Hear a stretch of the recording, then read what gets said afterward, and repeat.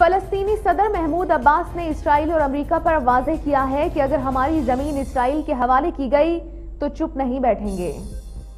फलस्तीन के सदर महमूद अब्बास ने धमकी दी है कि अगर मकबूजा मगरबी किनारे का इसराइल में इंतज़ाम किया गया तो फलस्तीनी हुकाम के इसराइल और अमरीका से हुए माहदे को मुकम्मल तौर पर मनसूख तस्वुर किया जाएगा। उन्होंने कहा है कि हमने अमरीका और इसराइली हुकूमत समेत मुतल बैन अवी फरीकैन को आगाह कर दिया है कि अगर इसराइल ने हमारी ज़मीन के किसी हिस्से का इंतज़ाम करने की कोशिश की तो हम हाथ बांधे नहीं खड़े रहेंगे। अमरीकी सदर ट्रंप इसराइल फलस्तीन के माबेन तनाजे के हल के लिए जनवरी में अपनी तर्ज का एक मनसूबा लेकर आए थे, जिसमें मुतद मुतनाज़ शिकों पर फलस्तीन समेत दुनिया भर के मुस्लिम ममालिक ने तहफात का इजहार किया था। इस मुजवजा मनसूबे में फलस्तीन को महदूद इख्तियार के साथ इकदार देने की तजवीज़ भी पेश की गई थी। तहम सबसे ज़्यादा मुतनाज़ बात यरूशलम को इसराइल का दरकूमत करार देने के साथ साथ मकबूजा मगरबी किनारे की बस्तियों और वादी उर्दन को इसराइल में जम करने की इजाज़त देना था।